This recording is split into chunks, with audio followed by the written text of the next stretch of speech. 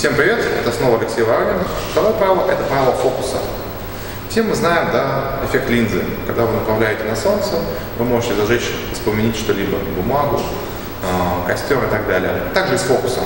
То, на чем вы фокусируетесь в вашей жизни, то и растет. Если вы фокусируетесь на неприятностях, растут неприятности. Если фокусируетесь на возможностях, растут возможности. Итак, второе правило Воронина – фокусируйтесь на возможностях.